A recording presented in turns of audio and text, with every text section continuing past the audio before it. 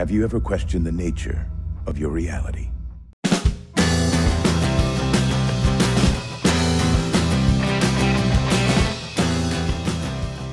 Hi everybody, uh, welcome back to the channel. Um, thank you if you subscribed. If you haven't subscribed and you like this kind of thing, please subscribe and like the video. Blah blah blah. Um, I'm going to do a video now on Andrew Kaufman. So this is an author that I discovered a little while back, and uh, I wanted to read more. Immediately wanted to read more by him after the first book I read. But after the three books I've read, I'm going to talk about in this video. The first book I read is my favourite one out of the three. He's written six books. He started writing or started publishing his writings in 2003. So a relatively new author, but uh, he's Canadian. Quite different to uh, a lot of other writers, I'd say. He's got a quite a unique take on his own particular quirky, absurd, surrealist um, diversion of reality, while also rooting a lot of his plots and characters in a reality, as something that we can recognise as being our reality. So it's a kind of a mix. His his um, general style and his plots, certainly from the three books I've read, are a mix of this very real personalities, very real concerns, very real feelings with this surreal, absurdist surroundings, this sort of plot driven, the, the plot that's driven by a an absurd world. So uh, I'll start. I'll do it in order of what I've read. So I'll start with the best one out of the three, I think, and I think it's, it was so good, and I, I'm I'm gonna I'm probably gonna read it a number of times because it's incredibly short, and that is this one. All my friends are superheroes. All my friends are superheroes is literally about 100 pages long. I think I read it in about an hour and a half. I was waiting for my doctor's appointment, went down the beach, and thought, um, I'm going to just read it, see how far I get. And I read the whole thing before my appointment. So that was cool. And uh, I, I really, really, really, really enjoyed it. I think it's. Well, I'll tell you the plot and then I'll tell you um, what I think about the way it's written. So as soon as the book starts, you're right in the action. I mean, this is obviously very short, so it's going to rattle along at a fast pace. But right at the beginning, it establishes the fact that Tom is on a plane with the person he's just married, who he is described as the perfectionist. She is a superhero called the perfectionist.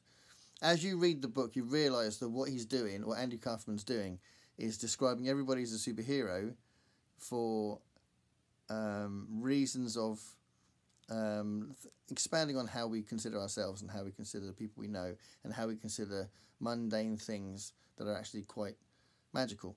So that will come to you when you read it. But there are tons and tons of superheroes in this, and they're all um, bizarrely described. Their superhero trait is a little bit unusual. So her, so he calls his wife the perfectionist, and that's because her speciality, what she is a perfectionist with, is her sense of order and make sure that everything is organized properly and everything's planned properly and, and everything's in its place. And if you can get what I'm saying there, as far as it's not a, a normal superhero trait, but he's making the mundane magical, you can see where you might go with this um, by the end of it. There's a kind of a lesson to be learned with this. Anyway, Tom is invisible to his girlfriend, and this is because, or sorry, to his wife, and this is because on their wedding day, her ex-boyfriend called Hypno whispered to her um, and convinced her that Tom was invisible, or or not convinced that he's invisible, but made sure that she couldn't see him, and he's spent the time since then trying to convince her that he's with her and he's obviously her husband and part of her life, blah blah blah. And um, what you get is this very quirky setup, but also exploration of of love and longing and companionship with these funny stories about these different superheroes and that kind of thing. I'll just show you um, a page. Yeah, I mean this here. Whoops. Um, you've got uh, what was it? Falling Girl, The Battery, The Couch Surfer, The Stress Bunny, and The Dancer. So these are very short, very, very, very short descriptions of superheroes. And that's kind of um, peppered through the book. So you get these different superheroes, and some of it's funny, some of it just makes you think, some of it builds up to this general point he's trying to make about what we're like as people. Um, and I just think it's really nicely written. What's this one? This is another page where he starts talking about different superheroes. The Frog Kisser, uh, Fifth Business, The Seeker, The Projectionist, and The Chip. Um, and again, these are different, really short descriptions of what these superheroes are like while he's developing this plot where Tom is trying to become visible to his wife after being tricked by Hypno. Um, and when I finished reading it, I had this big grin on my face, and I thought, I see what you did there, Mr. Kaufman, and I like it. So very short. It's not going to change your world necessarily. It might change. I think books like this do enrich your life because they do enrich your feelings about your relationships and and um, so I do think it, it it's more than just superficial book. But clearly, there's not a lot of character development, and it's not a hugely epic plot. Yeah, I think it's really worth reading if you can find it. Definitely, you know, it's not it's not sadly going to take up much, uh, much time, but I thought it was really really good, and I was really impressed with it. And uh, this was my first go at Andrew Kaufman. I was curious by the um, title when I found it uh, mentioned somewhere online, so I thought I'd give it a go. Bought it, really, really liked it, and then thought, well, I'll read some more by him. So he's written six books, and I've read two others. The next one I read was A Tiny Wife, and this book has illustrations throughout the thing to kind of um, expand on the plot. Um, they're really nicely designed illustrations.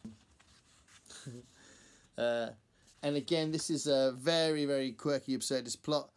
Fits really well with the other one. The tiny wife, you can probably imagine what's happening here, but the reason why his wife becomes tiny is quite cool. So basically, it's, a, it's, it's all set up right at the beginning with a bank robbery. And the bank robber doesn't want to take their money, uh, the people that are in the bank. He tells everyone in the bank to give him something that has a lot of sentimental value. And he's it's basically some sort of weird curse and they give they all give him something of sentimental value and everyone that's in that robbery everyone that's a victim of that robbery through the next few weeks something weird happens to them that's based around that thing that was given away and something about their own fears or their own hang-ups or their own part uh, their, own thoughts about their past that kind of thing um, so a couple of examples of that um, it's not spoilers because it's literally in the first 10 to 20 pages you've got uh, one woman who has a tattoo of a lion, and that lion, that tattoo, chases her around the city and attacks her. So that clearly a little bit absurd, a little bit strange, a little bit surreal. And you've got someone else who's a woman whose husband becomes a snowman, and uh, uh, that kind of thing happens. And principally, with this main character, his wife starts shrinking. It's kind of alarming and kind of scary for them, but it's not really written in a shocking, sort of horrific kind of way. One of the interesting things about how he writes is the characters do seem to be quite. Uh, it's almost like they're used to reality bending like that, you know. So there isn't there is there is shock, but there isn't the oh my god this couldn't happen in my reality kind of shock. It's just oh no it's happened to me kind of shock. uh, so you know that adds to the quirkiness of it really. So his his wife is is shrinking very very fast, and she quite quickly in the in the plot she becomes kind of pocket size, and he carries her around in his in his jacket pocket, and they've got a son, and his son kind of gets a little bit upset by it, but also talks to her, and she sits on his shoulder, um, and you got that sort of quite a, an amusing kind of element to it to the how the actual scenes play out when she's tiny, but amongst that you've got all these other people that are in the support group from this bank robbery um, that talk to each other that are also having these weird experiences. So I so again it's very short. I'm going to say something general about what his points are. I think later on when I've talked about the third book, but I do think the ending of this was a bit disappointing. The ending of the all my friends are superheroes was really nice, and it was a really satisfying ending. And I and I ended, you know, closed the book with a big grin on my face. I didn't really like the ending of this one because it seemed a bit abrupt. It seemed like the last few pages seemed to be um, trying to end the book quicker. I think so. I'm not sure what he was thinking with that, but definitely the end of the the other book was better. But there's lots going for it. I, th- I think uh, again I like the what he's doing as far as the way he turns a strange and odd situation into a narrative, and he clearly is exploring love and companionship like he is in the first book. Um, and you know some of the some of the things that happen to these people that are victims of the bank robbery is quite funny, and yeah. So again, another one that I'd recommend. Um, and you know, that was the second book I read by him, and I thought, yeah, I do like this guy. And the fact he's written six books is quite nice because I've, I've only heard about uh, four of them, so there's another two for me to root out, which is nice. So the third book I've read, which I've just finished tonight, is Born Weird. So this was a little longer one. This is more like a normal size book. The others are even shorter than novellas, I'd say. Uh, this is like uh, 300 pages, about 200, 270, 280 pages. So, short novel, granted, but more like a novel length. Born Weird. So, this is about the Weird family, and um, it's probably obvious. I guess you could probably say that he's aware of his reputation as a writer and, and what the books have as a running theme or a running style because now it's just like I'm just going to call this Born Weird, and all the characters are called Weird. It's a family where that's their surname, and uh, it kind of centers around five siblings. So they're brothers and sisters, and they're all adults, but they've all been damaged by this thing that happened when they were younger, and their whole family's kind of damaged by various aspects of that, and they were cursed by their grandmother when they were younger. And their curses are also kind of blessings as well, which in the book he calls them blessings. So obviously a cross between a curse and a blessing. So they have these blessings, and they're just to kind of add to that idea of how he writes in this sort of quirky style. I'll tell you what some of the um, the um, blessings are. So, um, so Annie Weird is the grandmother, and she gave her five grandchildren these blessings. Uh, so Richard's curse blessing is that he would always keep safe. Abba, she'd always have hope. Lucy would never get lost. Kent would be able to beat anyone in a fight. And Angie, who really is the main character, really, uh, she would always forgive instantly. So that's the these are blessings and curses. So clearly, this is not you're going to be invisible or you know you can read people's minds something like that. This is you'll never get lost. Um, you're always going to have hope. You'll always forgive. These are psychological traits that affect how they interact with other people, how they deal with um, their relationships, and that is what is at the center of this book. So basically, right at the beginning, their grandmother tells Angie, who's the one that always forgives, that she's dying and she wants them all to come together to visit her so that she can release them from their curses. And she needs them to be there to do that. And there's only so much time because she knows when she's going to go. So it becomes Angie trying to get back with everybody. There's a little bit of a road trip element to it.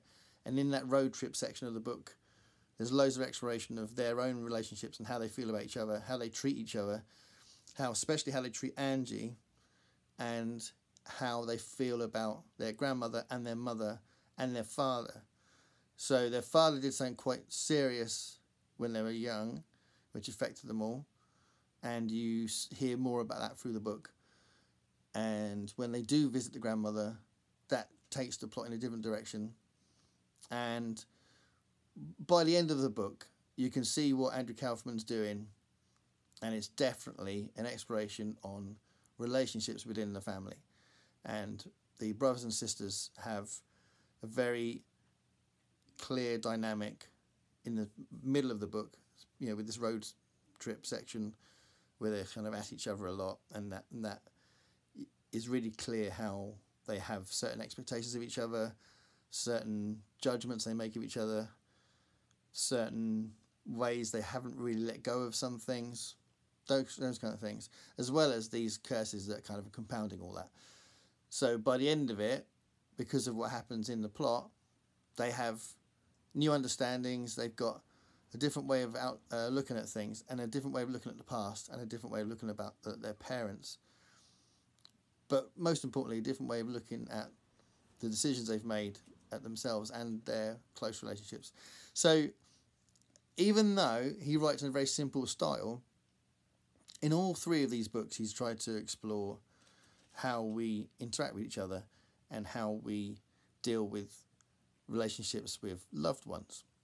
So, um, this is less weird, it's less quirky, it's less strange, it's less surreal, but he's still using uh, these psychological traits rather than actual curses that you would see in any other book as a plot device to then analyze, discuss relationships. So, really interesting writer, I think, and uh, someone. If you think this sounds curious, interesting, check him out. Um, I think this is the best one out of the three anyway, so you could start with that and see how you get on. See if you like the way he writes. It's very, it's very. Um, I think it's pretty subtle what he's doing, and partly because he's quite direct with how he writes. There's not an excessive amount of um, internal dialogue by the characters thinking about everything all the time, so it kind of plays out in the way they change their actions or their dialogue with other people. So, you know that there's not it's not overly poetic, but I think he he does have a lot to say, but in a quite subtle way. So you might miss it. You might just think it's funny, um, but I do think he's trying to say something about the way we treat each other. So, yeah, that was all my friends are superheroes. Really, really good and a nice introduction to him. The Tiny Wife, which is really good, but I was disappointed by the ending. And Born Weird, which um, I did enjoy, but it didn't have the same uh, delight in the absurd as the other two did. It's a little bit more straight. So the quirkiness is is revved down to a low level, and uh, it still is quite odd in many ways. You know, but yeah, an author that I am really enjoying, and I, and I, I've sort of found him uh, randomly, so I don't know how famous he is, but I haven't heard anyone talk about him at all. So I thought it was worth talking about him on the channel. So, have you read any of these books? Have you read this book? Let me know in the comments. Thanks a lot. Bye.